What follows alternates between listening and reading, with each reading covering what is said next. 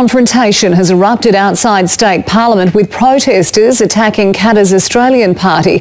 Controversial Senator Fraser Anning joined the party for one final dig at the Premier before their dumped staff finish up tomorrow. Tegan George reports. Free speech on full display outside the Queensland Parliament. You disgusting racist worms.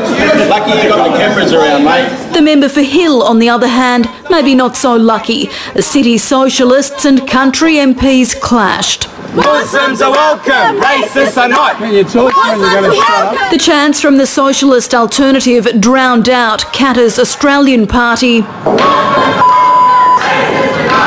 which was there to condemn the Premier for axing its four extra staff over federal Senator Fraser Anning's controversial maiden speech. You are a disgrace. You, you inside? You are absolute racist disgrace, There's a worker there who's lost his job. Why don't you help him? You help him.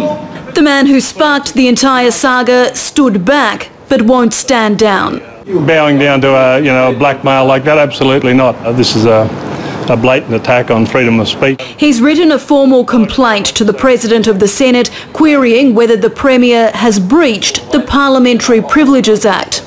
We're not moving our ground at all. Our vote just went straight through the floor. use this opportunity to thank all those people out in the Queensland, the flood of support and the uh, financial assistance, uh, those generous gifts, donations that have come in. The four workers will likely take their case to the Fair Work Commission. They don't blame Katter MPs for not apologising. They think it's the Premier who should be saying sorry. No, no, I fully support the KP stance 100%. I, I don't think they should be apologising. Their last day is tomorrow. Tegan George, 10 Eyewitness News.